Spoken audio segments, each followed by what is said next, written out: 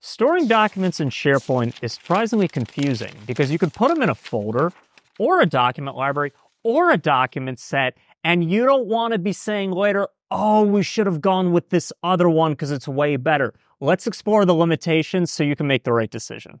For this example, let's pretend we're building an employee onboarding system makers that are new to SharePoint would come in here and make a new document library. In this case, I called it onboarding. They'd start putting documents in here. They would add all the employees' drug tests, resumes, and quickly start to see that this is a mess. So they're like, I know, I'll come up here and use folders. So they put the person's name, create that, and then take everyone's documents and put them in the right folders. And let's say we need to store the hiring status of all these people. As soon as we add a column, things get a little weird. If I throw in a single document into here, if I click the three dots and go to the details of it, I see all the columns and then maybe here I could add some hiring status if I want. But if I go to a folder and then I go here and hit details, I'm already not able to see anything. But I guess I can come over here and edit grid and here I can add the statuses. And it's like, you know, this is good enough.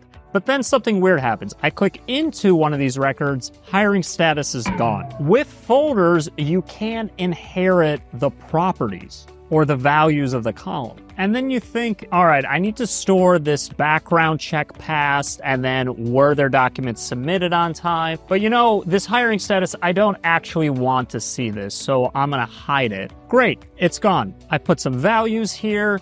And then if I go back to the parent level, wait, that hiring status column is also gone here. Plus it added these columns, but it kept the values blank. I hope you're starting to see how limited folders are. While we're here, some other weird things that tend to happen is if you mix folders with documents, like maybe the resumes all start out here before a folder gets created. If I try to do things like alphabetize these, it always groups the folders together and then the documents come after. Maybe that's the behavior you want, but most people, when you alphabetize, you expect them all to be in alphabetical order. And one more problem with folders is it's really tempting once you start making them to not be able to stop and you make folders within folders within folders. It's not only confusing, could lead to duplicate documents, but most importantly, lead to this nasty message one day that says the file or folder name is too long. Andrew Hess was the original person who pointed this out. Makers eventually realized this, so then they switched to a completely different structure where they just make a document library and they keep it flat. All the documents here, and if I really want to group all of these, I can come over here and make a new view. And in the view, they can open up group by, and then they can group by a column. And the result is like this, which is kind of like folders. This works great. The only weird thing is if I want to share something, it works on one document at a time, but if I try to select multiple documents, I lose my share ability. I originally learned this from Sylvie Letourneau at IMBII Solutions. Having one flat library like this and using this group by to act as a folder is fine, except what if you want child folders? For instance, what if the drug tests should all go in their own folder for each person? Well, now you probably have to make a folder. And we already know all the issues with folders, there's really one answer here that solves all your problems. If you open up settings and navigate down to site contents, and then you scroll down to an area that says site collection features, there is a ridiculously undocumented perfect solution called document sets. And you just need to activate them. And then if we head back and scroll into site content types, and in here, if you click on create content type, you give it a name like employee onboarding doc set, and then down here you choose document set content types and click create. And in here, add whatever columns you want. In my case, I want to store the employee's name, their state, and gender. I have a brand new document library here called onboarding doc set.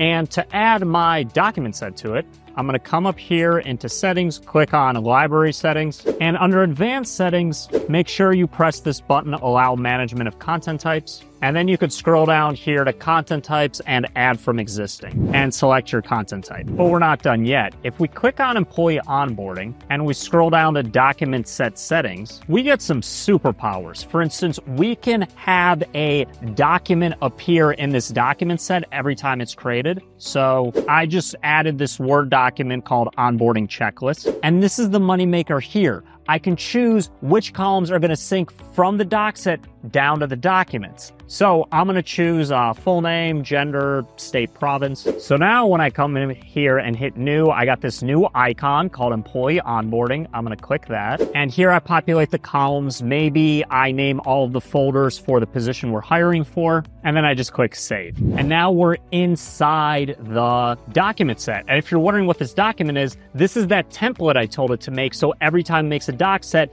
it adds this file. If I open this file, here's some template that the HR person has to fill out for every new position. But here's where things start getting cool. If I go to add columns, and then I choose the columns I made when I created this doc set. Look at this. They're automatically populated because these values came from the parent level. But one of my favorite features is I have all my columns here, but these are all the columns I care about high level. When I click into here, let's say I want to see different columns here, so I'm going to change these. So hide some of these. These are the columns we want to see inside of the doc set or folder. So I'm going to save these and click save. So here's my inside doc set view, but when I go back, it reverts me to all documents. And when I click inside, I'm stuck in the all documents view. If I hop here to library settings, inside of our document set settings, our select view, we can change it from all documents to inside the doc set. Now it's gonna change. So at the high level doc set level, I see this, but when I click in, I see different columns. How great is that? Oh, and that sorting thing, watch this. If I shift them up, yep, the doc sets being mixed with other regular documents are still getting sorted properly. What's also interesting is if you're inside a doc set, you don't have the option to create a doc set anymore, but you can take a doc set and drag it inside of one. And then when you click inside of it,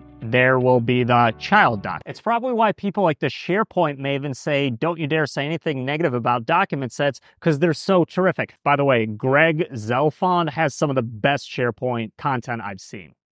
Also, you'll notice here, if you press the three dots, you have version history. So you can see the history of this document set something that you definitely don't have with folders. Here's a handy guide to use when you're trying to make this decision of how to store documents in SharePoint. Now, if you want to become really good at SharePoint, I'm not your guide. I'm all about solutions architecture and how all the Power Platform tools connect together. But if you're looking for a SharePoint people, you should go follow all of these people and check out their amazing content.